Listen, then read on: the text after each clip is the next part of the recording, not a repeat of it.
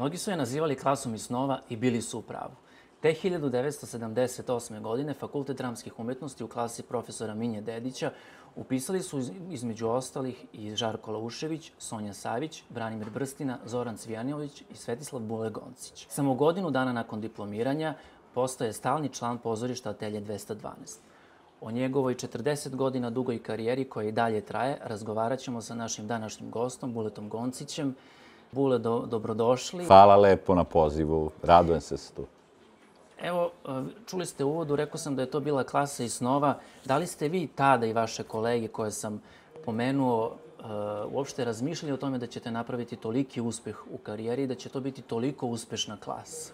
Pa ne, naravno, mi smo kao i svi mladi ljudi uživali u tome što radimo i nekako imali sreću da uz dobrog pedagoga odrastamo i učimo taj zanat na pravi način. Ja sam naravno kao i većina koje ste pomenuli, započeo još u dramskoj grupi Radio Beograda sa nekih 7-8 godina. Tako da sam već imao iskustvo i sa, iz pozorišta i naravno mi smo svi kao deca snimali bezbroj radio, drama i televizijskih i serije i svega. Tako da je to nekako bio logičan nastavak. Uopšte nismo mislili o posljedicama, o popularnosti, o bilo čemu što takav poziv nosi, nego jednostavno smo to živeli.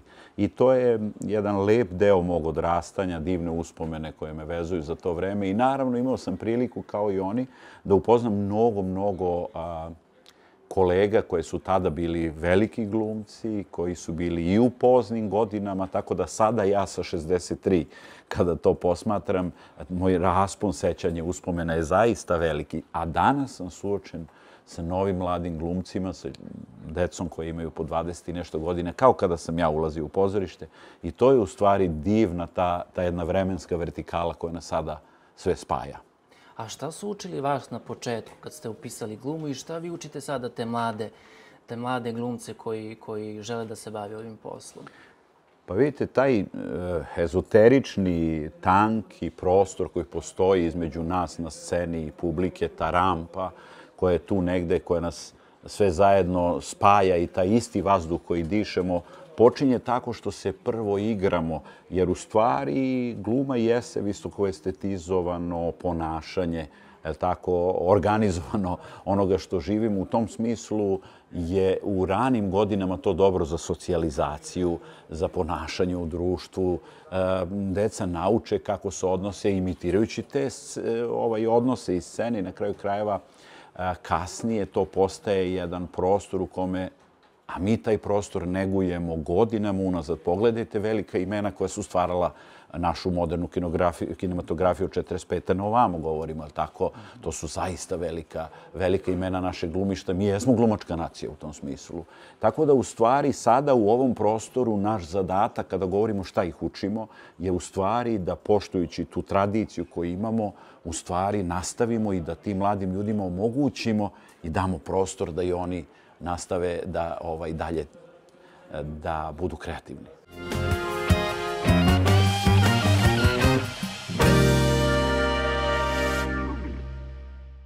Što se tiče Buleta Goncića?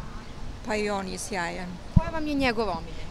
Pa ja ne mogu sve da se setim, on je u mladosti glumio u onim silnim serijama kad su moja deca bila. On je tu otprilike uh, parat sa mojim sinom, a njegov otac je s mojim mužem išao u osnovnu školu. Tako da, ovaj, te neke uloge sećam se, a i sad on glumi. I mislim, baš je onako izuzetan i pozitivan i tako je. Pa on je bio u ovom, kako se zove ova serija, kako je bila ist, istina i laži. A njega isto, njega pamtim još iz Salaš u Malom Ritu. Jel njega cenite kao Da, da.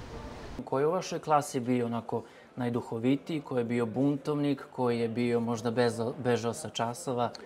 E, najšarmantniji je bio Laušević i e, on je iz, iz jednog e, e, izrastao u fantastičnog glumca najduhovitije sigurno e, tu bio Brstina, koji je bio uvek e, zabavan i isto tako šarmantan i Cvijanović. Ma kad pogledam, ja ne mogu to mnogo da, da ovaj, odvojim. Najbuntovnija je možda bila Sonja, koja je u tu ostavila velikog traga, ali ona odmah počela, naravno usvajajući e, tehniku i, i tematiku metodske jedinice koje smo i proučavali, pokušavala već na fakultetu da unapredi to A, tako da u stvari smo bili, bili, imali smo sreću te godine, tako kažem, profesor Berba te godine je bila dobra, pa smo onda iz različitih aspekata mogli da istražujemo šta je naš zanat. Hajde još malo da se zadržimo kod Sonje. Ovaj, znam da ste, vi, vi se poznajete od sedme godine života, je li tako? Da. A kako? Pošto on iz Čačka, vi ste, ja mislim, iz Pa nije, da, nema to veze, mi smo živjeli u Beogradu, nije Eto. to, da bom, da, da, i onda smo zajedno bili kod dram, u dramskoj grupi Bate Miladinovića.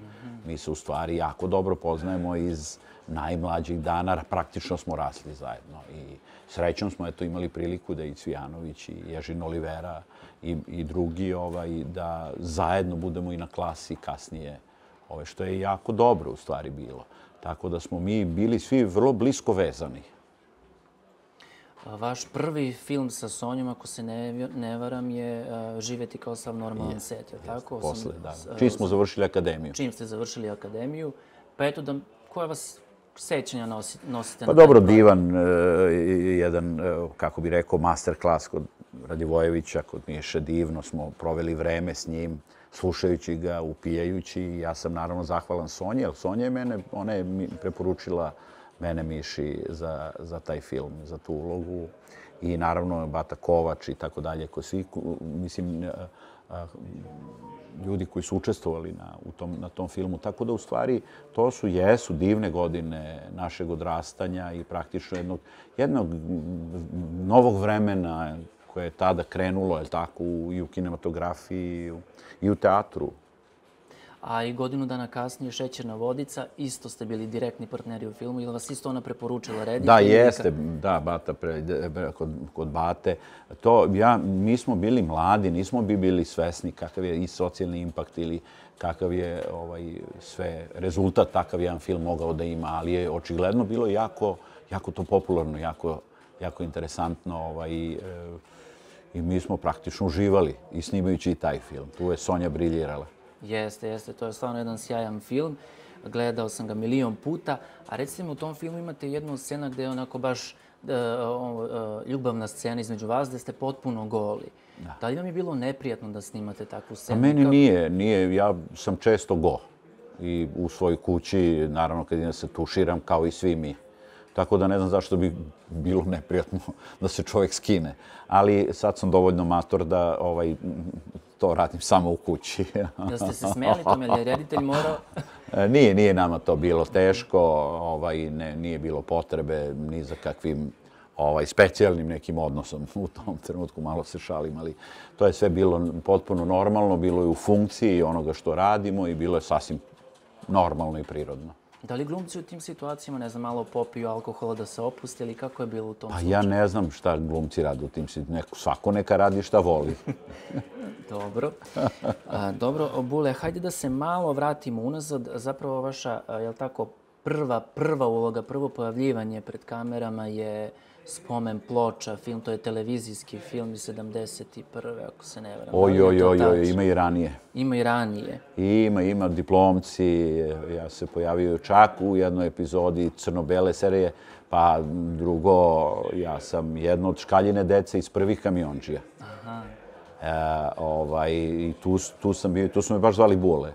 Ali kasnije je ovaj, reditelj Milo Đukanović, e, divan jedan reditelj, divan gospodin, ovaj, snimao i druge kamionđe i tu sam učestvovao. Evo sad kad su radili ove treće, ovaj, nisu me izabrali i našli su bolje vozače.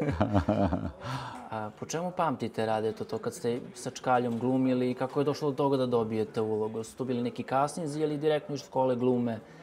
Pa oni su, ne, oni su, tada je bio taj rasadnik eh, Radio Beograd u stvari koji je okupljao svu decu koje su bila talentovane. To je bilo jako dobro organizovano. Mi smo i čak išli smo na more. Ja se dolazim iz jedne skromne porodice u tom smislu i to je za, eh, bio je apsolutno jedan neviđeni svet za mene. U stvari sam provodio vrlo organizovano i dobro vreme. I onda su reditelji praktično dolazili u tu grupu da ovaj, odaberu decu. Ja sam imao sreće da su me birali. To je čista sreća. Nikakvu ja pametu nisam koristio, jel tako? ovaj, pa sam imao eto prilike da i mene izaberu da igram u svim ti serijama. Tako je to bilo, to je taj bio način. Oni su uvek dola... znali su da je Radio Beograd to mesto gde su mogli da nađu decu koja su, jel tako, spremna za snimanje. Mi smo snimili stotine radiodrama, e, jer je radio tada bio veoma popularan. I tu smo imali prilike da sarađujemo i sa mnogim poznatim glumcima. Radiodrama je divna forma, u stvari. Ovaj, ko nije imao prilike, divna forma i zato smo mi ovaj, uživali u tim radiodramama i kao deca. Jel se sećate najvećeg blama u karijeri? Pa ne, ne, jer ovaj nekako, pa ne, nešto ne znam da je bio neki blam. A da vas vidim, da li vas je tokom o, 40 godina duge karijere i više, da li vas je neko od kolega razočarao? Pa normalno da se čovjek i razočara i očara i zavoli i ne zavoli. To je potpuno normalno, nije to ništa novo na kraju krajeva. E, nije bitno da li je kolega ili nije kolega. Poenta jeste u tome da svi mi ljudi imamo nekakav svoj, kako bi rekao, način na koji ostvarujemo svoju ličnost ili preko nekih akcija potvrđujemo svoj neki integritet. Često naše potrebe i naša e, namera da se potvrdimo ne odgovara, kako bi rekao, i intelektualnom kapacitetu. I čovjek može da se razočara, e, ovaj, ali nije to primarno u životu. Mnogo su lepše ove stvari kada, je, kada se nešto zajednički uradi. Razočarenja su, ja mislim, sastavni deo života. Znate zašto vas to pitam? Zato što je nedavno vaš kolega Dragan Bjelogarić rekao da ne želi više da glumi u seriji Tajkun i ako ljudi žele, slobodno može da ga zameni Bule Goncić, jer je on Da, kao... dobro, ima pravo čovjek, ovo je slobodna zemlja da govori šta hoće. Ja prvo nemam nameru da se uopšte polemišem na tu temu, niti da se razočaravam, jer njega ni ne znam, niti igram u tim serijama. Ja sam igrao ono pre pet godina pre korone još u Istine i laži. On ima pravo čovjek da priča šta hoće, kakvu to specifičnu težinu ima. To je drugo, ali može onda priča. Ali da se ja razočaram, ja bi mogao ipak malo bolje da poznajem nekog, da bi imao bilo kakav neki emotivni odnos prema tome ili nešto se razočaram ili ovako nemam baš ni želju. E, kako bi rekao, svako priča onom što mu fali i žali za onim što nema. Svako ima pravo. Dobro, a recite mi, Bule, kad vas pitaju a, glumac ajme nasme i da ih nasmete, šta im kažete? Pa pokušavam da ispunim to. Kako? Ali mi ispričate neki vic, anegdotu, neku Pa, imitaciju? da bome nešto, nešto pokušam, pokušam da se snađem. Pre, pre sam pokušavao to da izbegnem. Onda sam ustanovio da to ne može se izbegne. I, ovaj, ali to je normalno, to je deo našeg posla i na neki način je, e, kako bi rekao, posledica onoga što radimo i Jel možete sad da se snađete i nešto na brzinu, da, da nas Pa zasmete? evo, smisliću, smisliću, ovaj, malo mi treba vremena da se snađem i da nađem pravi glas. Nisam, jedva sam sad ovo, moram da govorim svojim glasom, ne mogu tako visoko. Bule, imamo jednu interesantnu rubriku koja se zove Gledate li pažljivo. Ja ću vam sad pustiti insert iz jednog našeg filma koji je bio veoma popularan 80-ih, Kuku, pa ću vas, ovaj, pa de ja to znam. evo, pogledajte i onda kad se završi insert ja ću vas pitati.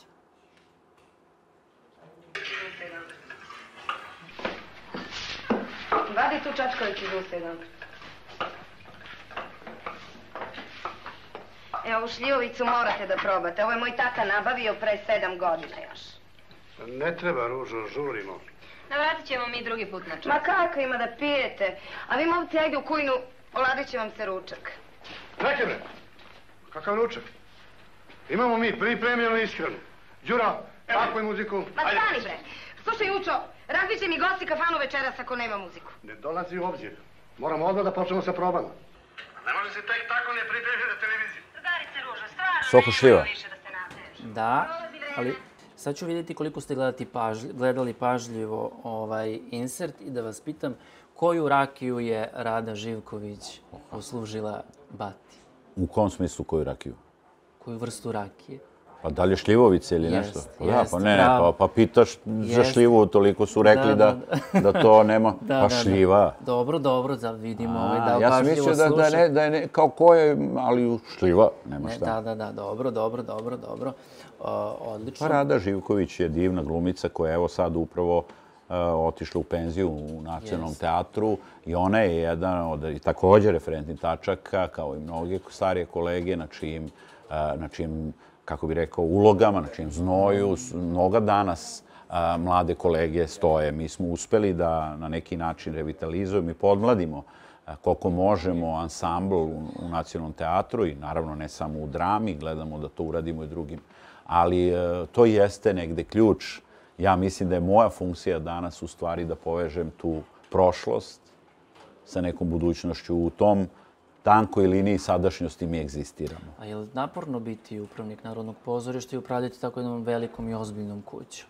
Pa dobro, ovaj, može to da se shvati na, na, na, na dva načina. Jeste i nije. S, druge, s jedne strane jeste obimno, jer jeste velika kuća i na kraju krajeva reprezentuje. To je kuća koja je po identitetu iz nje nastalo na kraju krajeva i Ministarstvo kulture.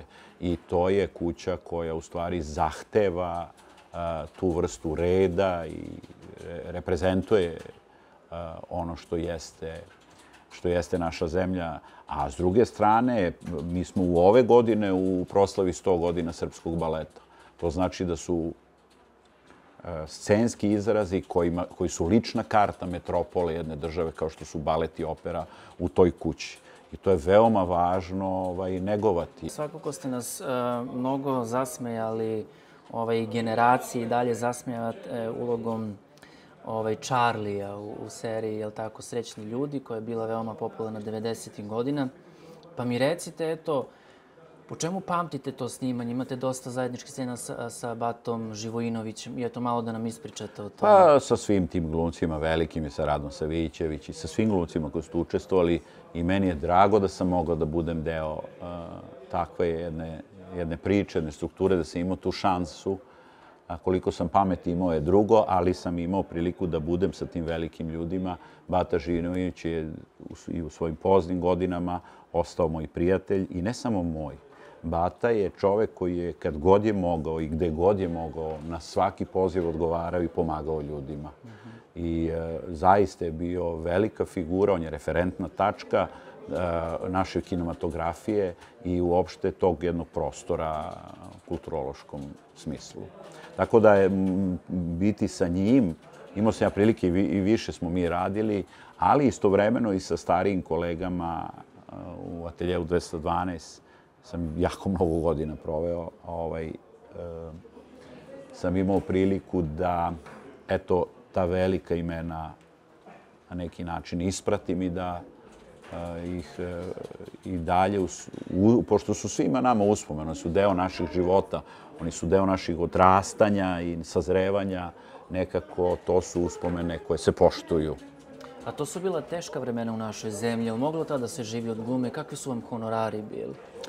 Pa dobro, ja nikad se tim nisam ni bavio, a moglo je da se živi najnormalnije. Ovaj, nije bilo lako, ali kao i svima, ne, mislim, manje više. Nemam ja neki specijalan odnos prema tome, ali mislim delili smo vreme u kojem smo hteli, ne hteli se našli. Nažalost, raspad je jedan združeni, da kažem, združeni projekat koji je, čini mi se, možda i najmanje od nas zavisio, ali e, raspadanje jednog sistema koji je uspostavljen posle drugog svjetskog rata, govorimo o ekonomskom, političko-ideološkom modelu, u tom trenutku je možda bio i logičan.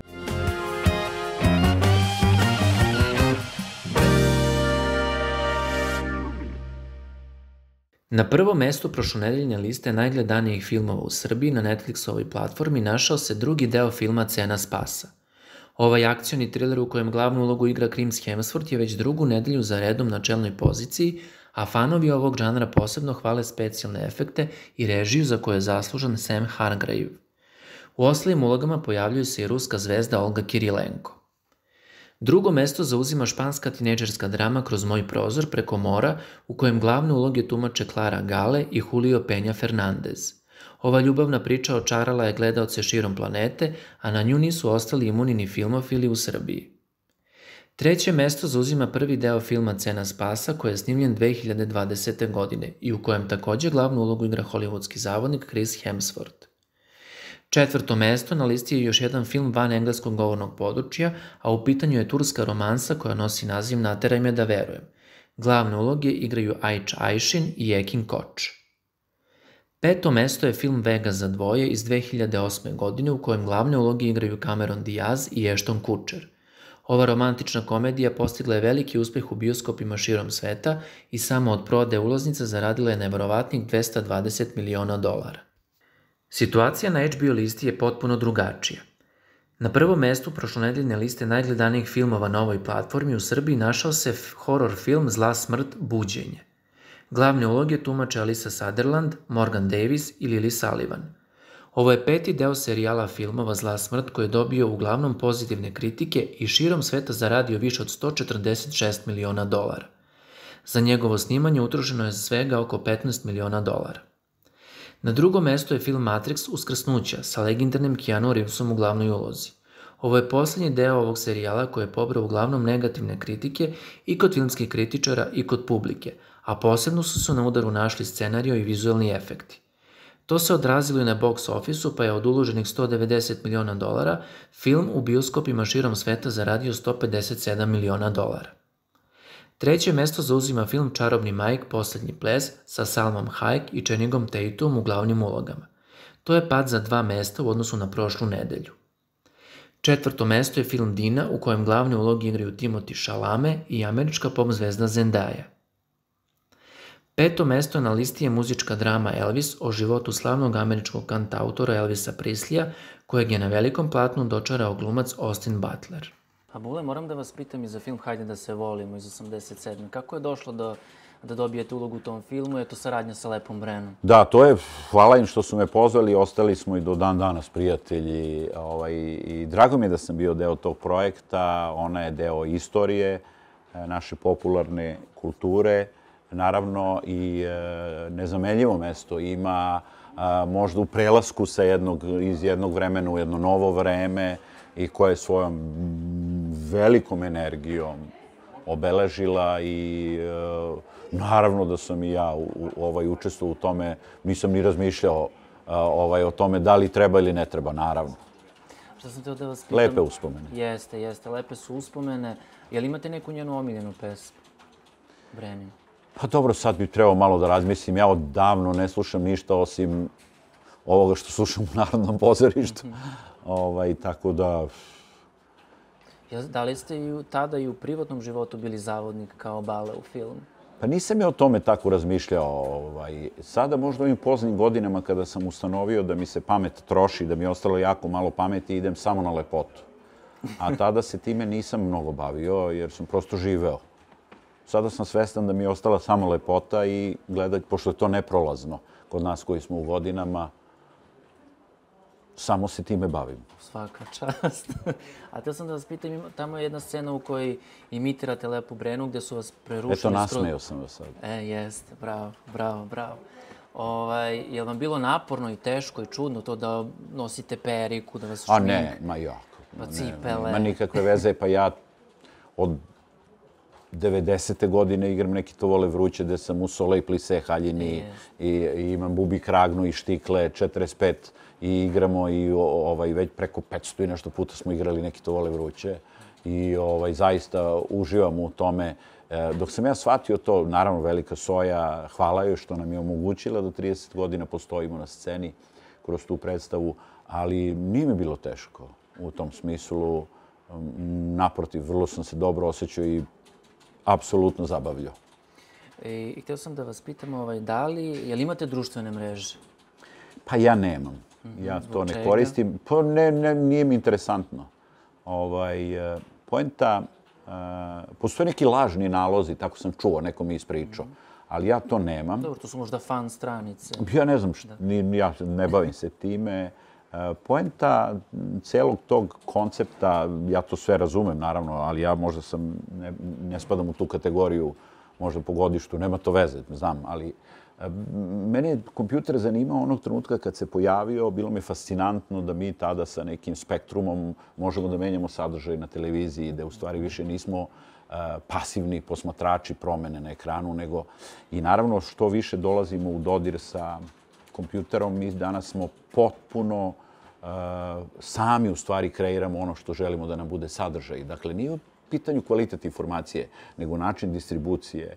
I sada svako prema sebi negde izabere iste informacije, ali drugčije tumači.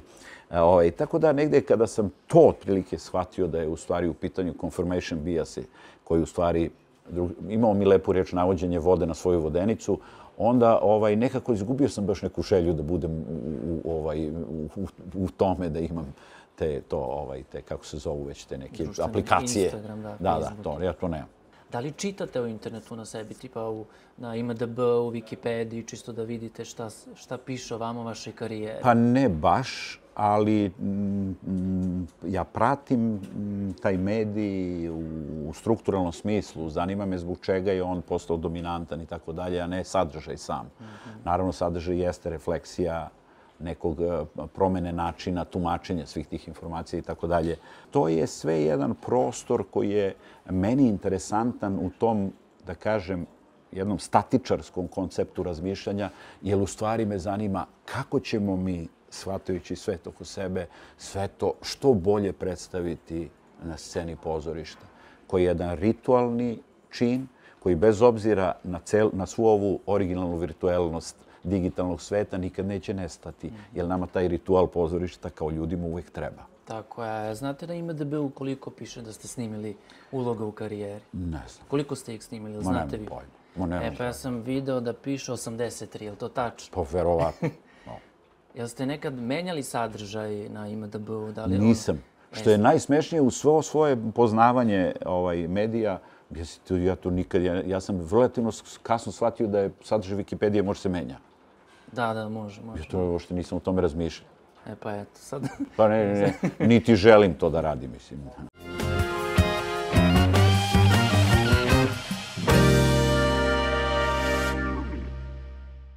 Novi krimi thriller je na našim malim ekranima. Serija Nemirni reditelja Darka Nikolića počela je sa emitovanjem na Superstar kanalu. Priča počinje ovako. Jedan mladić je pretučen na smrt, a ubice su učinile sve da to nameste kao nesrećan slučaj. Međutim, pet godina kasnije policija pronalazi leš i počinju da se otkrivaju delovi enigmatičnog scenarija koje prati radnju ove serije. U prvi mah izgleda kao početak klasičnog krimi trilera koje posljednjih godina često gledamo na televiziji, ali zapravo nije tako. Muke glavnih aktera su žive i prepoznatljive svakom od nas. Svi likovi imaju svoje nemire sa kojima se bori, zbog kojih čine razne stvari.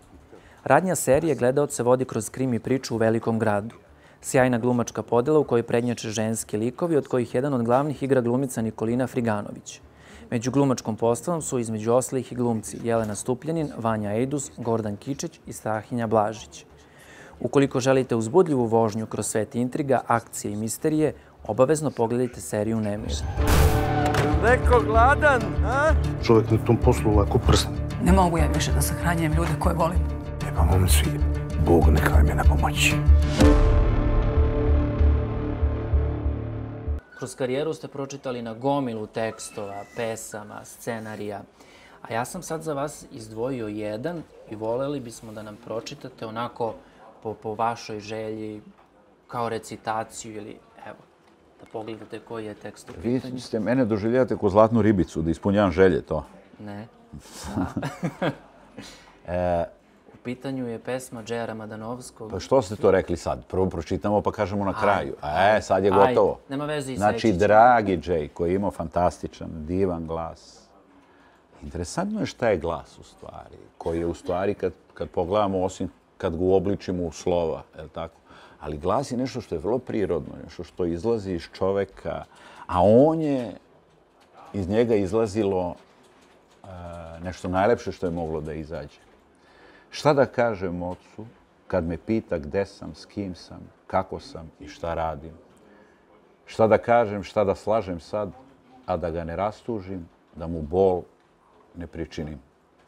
Šta da kažem majici što me nema, da se javim u dom, da joj svratim? Šta da kažem, šta da slažem sad, a da je ne rastužim, da joj bol ne pričinim?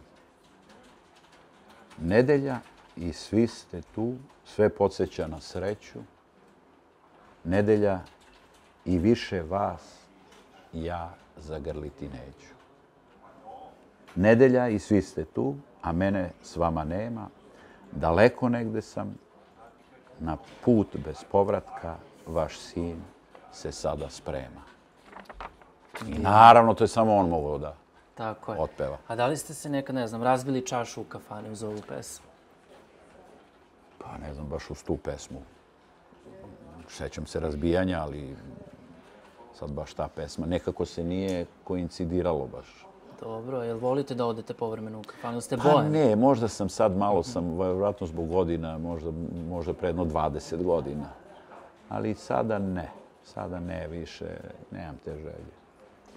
Dobro, Bule, i za kraj ovog našeg razgovora voleo bih da, ne znam, pošaljete poruku mladim glumcima i vašim mladim kolegama i ljudima koji žele Pa da mo- se bave da, poslom. Da, pa, uvijek, zato ja kažem, u ovim godinama, naravno, trebalo bi da to iskustvo ima neki rezultat. Ono što ja mogu da poručim je da je scena najvažnija i da čovek, ako se bavi ovim poslom, može da bude potpun i da sebe pronađe samo na sceni, ne van scene.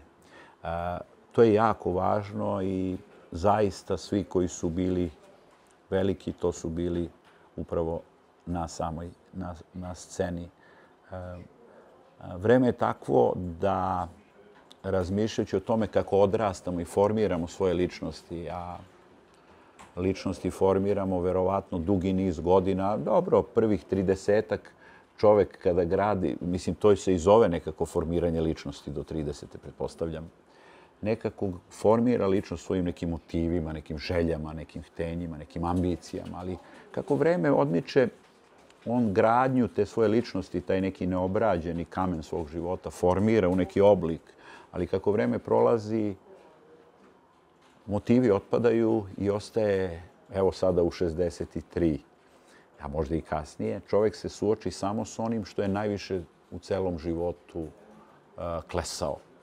I ta forma ga prati do kraja života. I zato mislim da mladi ljudi kada započinju to formiranje, da li na sceni ili u životu, dobro paze uh, šta klešu.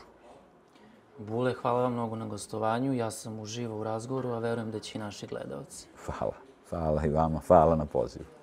Poštovani gledalci, doviđenja i do sljedećeg susreta.